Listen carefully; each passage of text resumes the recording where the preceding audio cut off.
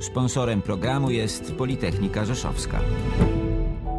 Budujemy przyszłość. Sponsorem programu jest Leroy Merlin w Centrum Handlowym Krasne koło Rzeszowa. Dla domu z pomysłem. Sponsorem programu jest ICN Polfa Rzeszów.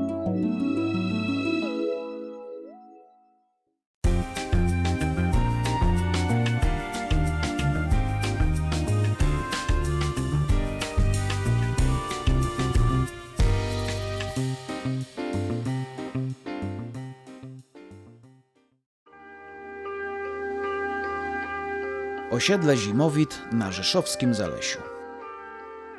I nikt sobie nie zdaje sprawy z tego, że był okres, kiedy Zalesie i Rzeszów były jednostkami pod względem prawnym, formalnym równorzędnymi. Zarówno Zalesie, jak Rzeszów był, były stolicami e, Włości, Wołosti ruskiej, która zarządzała dość sporym obszarem wokół siebie położonym. Z biegiem lat Rzeszów umacniał swoją rangę, natomiast Zalesie utraciło swoją funkcję na rzecz pobliskiego Tyczyna, który zlokalizowany został w 1368 roku przez króla Kazimierza Wielkiego. Było położone za lasem, stąd nazwa Zalesie, ponieważ te tereny, gdzie mamy dzisiaj osiedle Zimowit, gdzie mamy wielki obszar zespołów y, y, ogrodów działkowych, gdzie mamy y, y, dzisiejszą katedrę, to wszystko po prostu były dawniej lasy. A Zalesie zostało, jako miejscowość, zostało zrealizowane na takiej maleńkiej polanie wyciętej wśród lasów.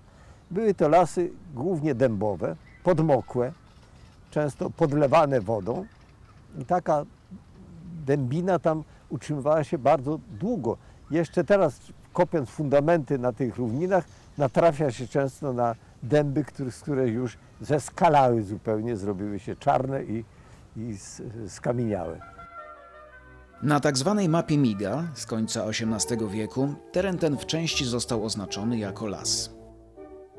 Dopiero później większość rosnących tu dębów wycięto, a powstałe dzięki temu łąki na początku XX wieku zostały zmeliorowane. Tu warto wspomnieć, że w XVIII wieku Zalesie było wsią, która była w połowie zamieszkana przez ludność ruską, a w połowie przez ludność polską. No i do tego jeszcze była domieszka kilkunastu rodzin żydowskich, która również tam sobie mieszkała, ubarwiając, że tak powiem, to społeczeństwo, tą społeczność lokalną.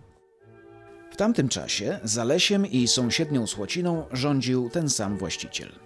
Słocina została miejscowością katolicką, tam był kościół katolicki i tam parafia i mieszkańcy Zalesia obrządku katolickiego chodzili do kościoła w Słocinie, natomiast samo Zalesie miało cerkiew, która była kilkakrotnie oczywiście przebudowywana, odbudowywana i pod koniec XIX wieku czy na początku XX wieku powstała duża cerkiew murowana, która dopiero po wojnie została z cerkwi zamieniona na kościół katolicki. Murowana świątynia została wybudowana na planie Krzyża Greckiego w 1889 roku. Obecnie jest to kościół parafialny pod wezwaniem w niebowzięcia Najświętszej Marii Panny.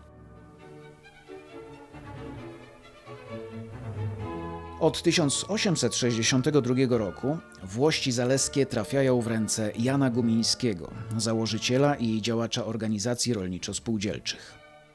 Pod koniec XIX wieku gumińscy budują w Zalesiu dwór. W 1944 roku folwark zostaje rozparcelowany, natomiast budynek dworu upaństwowiono. W czasie II wojny światowej łąki Zalesia były wykorzystywane jako lotnisko polowe.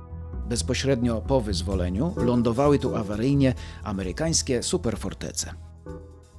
Ta myśl, że, że można by to wykorzystać jako lotnisko, została zapisana nawet w pierwszym tym powojennym planie Rzeszowa w 1955 roku uchwalanym. Było tam przewidywane, ale jeszcze przed uchwaleniem, lotnisko y, aeroklubu. Tam miał być aeroklub zlokalizowany i ewentualne lotnisko pomocnicze, na przykład sanitarne, które by tutaj mogły samoloty sanitarne również lądować, ale z tego zrezygnowano, pozostało na razie jako łąki. W latach 70. XX wieku na terenie dawnego dworu w Zalesiu utworzono ośrodek szkoleniowy Związku Młodzieży Wiejskiej. Architekt Leszek Darłak zaprojektował tam taki dość duży budynek ośrodka, mieszczący salę typu internatu dla, dla młodzieży, która przyjedzie tam się szkolić i sale wykładowe z pewnym zapleczem rekreacyjnym.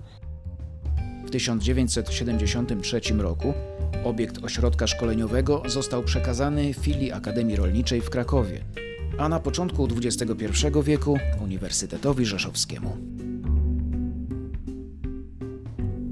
W połowie lat 70. poszukiwano w Rzeszowie terenów, na których będzie można w sposób zaplanowany zrealizować osiedle złożone z domów jednorodzinnych. Takie miejsce znaleziono właśnie na fragmencie rozległych łąk Zalesia. W pracowni urbanistycznej opracowany został plan, y, miejscowy plan szczegółowy zagospodarowania przestrzennego dużego fragmentu tych łąk położonego na południe od ulicy Łukasiewicza. Był to obszar ogółem liczący 90 hektarów. W tym miejscu miała powstać różnego rodzaju zabudowa jednorodzinna o określonym charakterze architektonicznym i w ustalonych zespołach. Do wyboru przedstawiono różne projekty takich domów. Plan cały opracował mm, zespół pod kierunkiem architekta Stanisława Wantucha. Przy czym Staszek y, zauważył, że wchodząc z zabudową na te tereny, niszczy się właściwie duże zespoły y, naturalnie kwitnących tam, rozsianych w ogromnej ilości kwiatów, które nazywają zimowit. I upamiętniając zimowit, nazwał sobie to osiedle, osiedle zimowit. Bał się, że jak stopniowo wszystkie te łąki zostaną zajęte pod zabudowę, to już z tych kwiatów nic nie, nic nie zostanie. Chociaż te kwiaty formalnie podlegają ochronie. Pomysłem inżyniera Wantucha jest charakterystyczny układ komunikacyjny osiedla. Został on opracowany na planie wykonanych tu przed laty rowów melioracyjnych.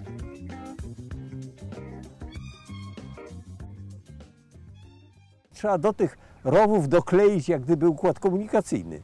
Potem się te rowy wpuści w kanalizację deszczową, przykryje i będzie doskonały układ komunikacyjny już zrealizowany bez dodatkowych jak gdyby nakładów na wytrasowanie, przeprowadzanie tej komunikacji.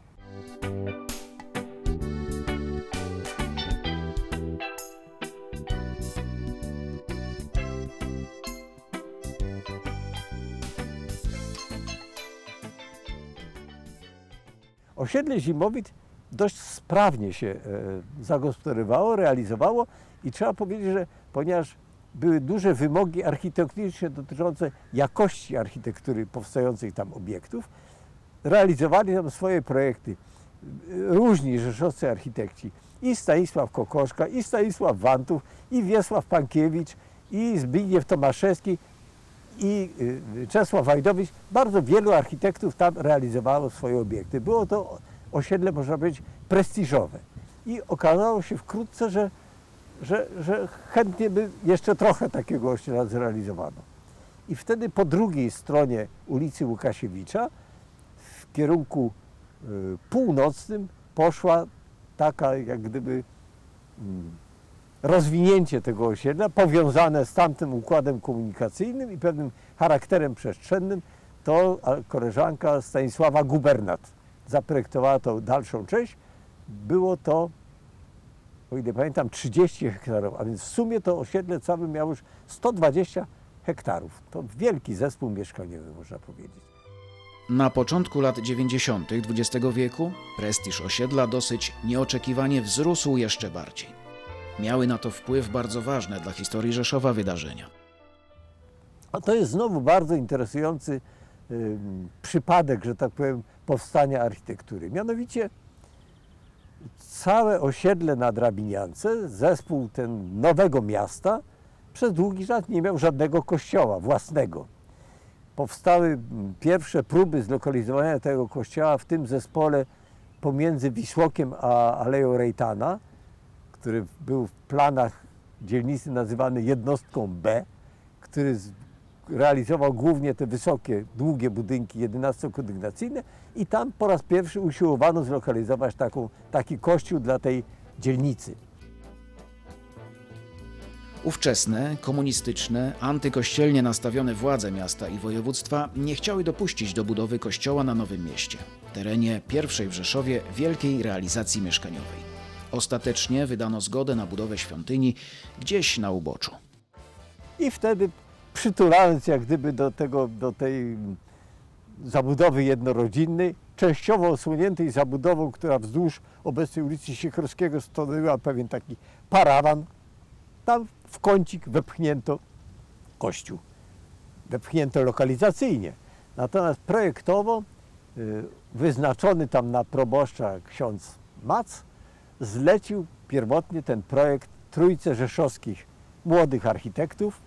To byli Kazimierz Ferenc, Józef Trzeciak i Tadeusz Karyś, którzy zrobili pierwszą koncepcję takiego kościoła, też taką spiralą dźwigającego się w górę, bardzo atrakcyjna, mm, interesująca kompozycja architektoniczna.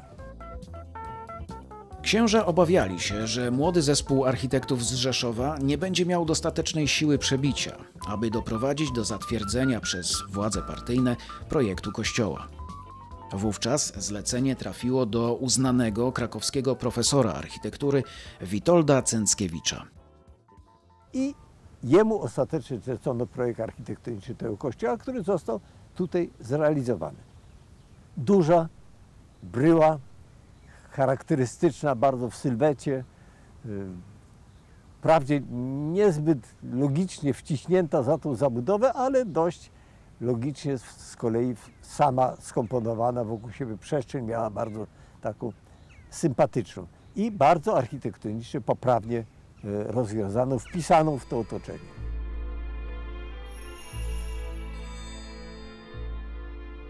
Budowę kościoła pod wezwaniem Najświętszego Serca Pana Jezusa ukończono w 1982 roku. Świątynia jest również pomnikiem 600-lecia diecezji przemyskiej.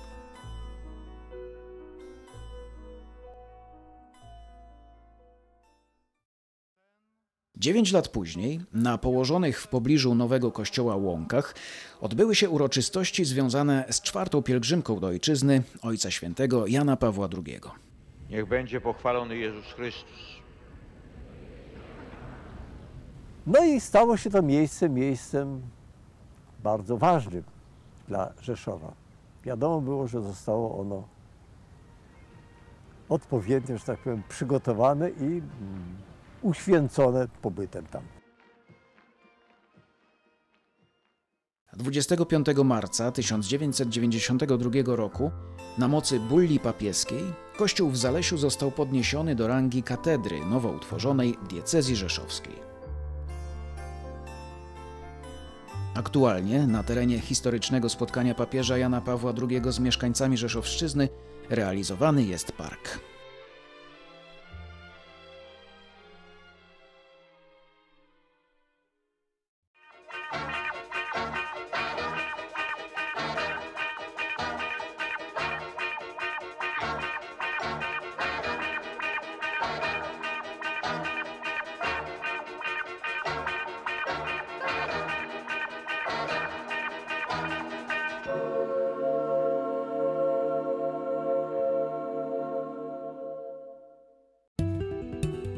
Sponsorem programu jest Politechnika Rzeszowska. Budujemy przyszłość. Sponsorem programu jest Leroy Merlin w centrum handlowym Krasne koło Rzeszowa. Dla domu z pomysłem. Sponsorem programu jest ICN Polfa Rzeszów.